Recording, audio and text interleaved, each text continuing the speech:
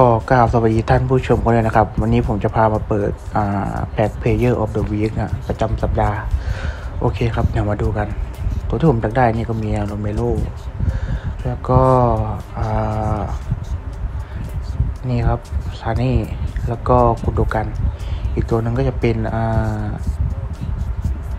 เฮอร์นันเดสนะครับผมตัวนี้โอเค เรามีโอกาสเปิดสามครั้งนะ เดี๋ยวเรามาดูกัน โอเค ครั้งแรก เดี๋ยวเรามาดูกันเลย กดเลย มาดูกันว่าจะได้ตัวที่อยากได้ไหม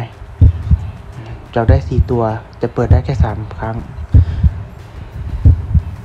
น่าจะมีโอกาสอยู่ เฮ้ย ตัวแรกมาเลย น่าจะเป็นเฮอร์นันเดสครับอย่างนี้ นั่นไง จริง ๆ ด้วย สวย มาแล้วครับหนึ่ง ตัวที่เราอยากได้มาแล้วหนึ่งตัว โอเค เหลือโอกาสอีกสองครั้งฮะดูดูดูดูดูออกมาหน่อยเร็ว ขอตัวให้ดีนะนะ พี่โคอย่าส่งสีดาวมาให้นะ